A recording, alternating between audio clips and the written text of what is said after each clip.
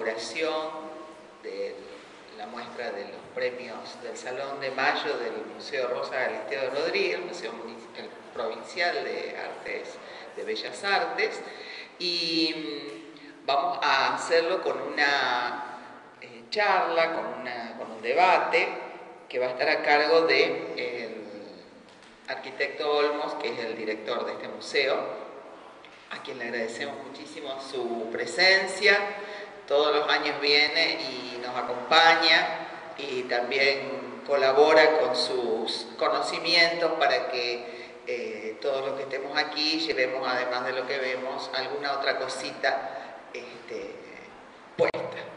Eh, también saludo a las personas que vinieron a acompañarlo para que la muestra pueda estar eh, tan hermosamente colgada, sus montajistas que vienen también todos los años.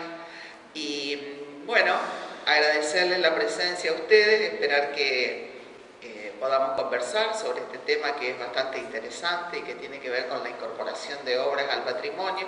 A nosotros nos interesa particularmente porque eso es lo que está, digamos, es una de las funciones de, del museo, ¿no es cierto?, ir incorporando, pero también puede servir para otro tipo de actividades que uno pueda desarrollar o por conocimiento propio de la actividad en el mundo del arte.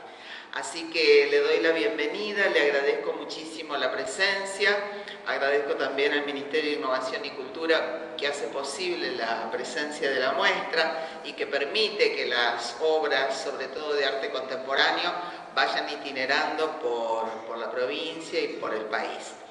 Eh, espero que todos lo pasen muy bien, la muestra va a estar... Eh, buen tiempo aquí expuesta, así que van a poder venir a mirar con más detenimiento.